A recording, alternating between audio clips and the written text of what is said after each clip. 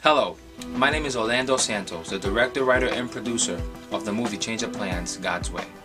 I would like to take this opportunity to thank you for all the support that you have given me throughout the week. All your shares and like on Facebook has been a blessing. And because of your support, the movie has been skyrocketing online. So I'd like to personally thank you for all your support. If you have not gotten a chance to look at the trailer, here it is. We're reporting here live from the scene where moments ago a man was shot multiple times directly behind me. Shots fired. Suspect down.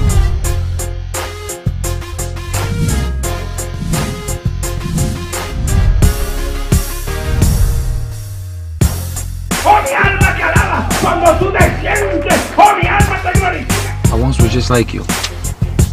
I didn't want to hear it. But God had other plans for me. How's that gonna get us out of this? It's not. They want to call themselves my friends. I later was introduced to Jesus. A friend forever, you know. I told you guys, it doesn't have to be this way, alright? What kind I of didn't come preaching to- man are you?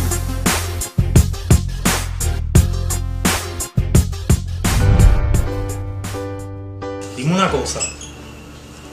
Si Dios quiere tanto a la gente, ¿por qué hay tanto sufrimiento y tantas enfermedades? Mira, hijo, cuántas cosas malas están pasando.